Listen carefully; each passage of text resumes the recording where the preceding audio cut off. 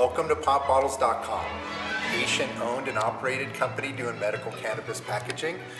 So one of the greatest features of this packaging is this is a reversible cap. So we all want a container that's child resistant. So this is the push, push and turn cap that we're all familiar with. And then if you use it, it's reversible, and on this side, it's airtight. So when you screw it on this way, not only is it a ha handy ashtray for the patient, but it also makes the container airtight. These containers also are static resistant, so the trichomes do not adhere to the container. So that's opposed to other pharmacy companies. So potbottles.com is the universal choice for all the dispensaries in California. We're even expanding into states like Nevada and Colorado.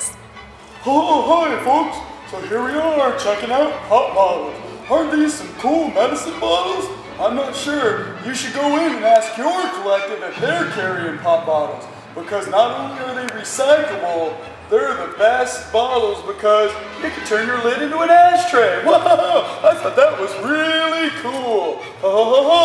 So make sure to go to potbottles.com for your amazing pot bottles. And remember, Reaper, Henry, and Potsy will have a comic strip coming soon.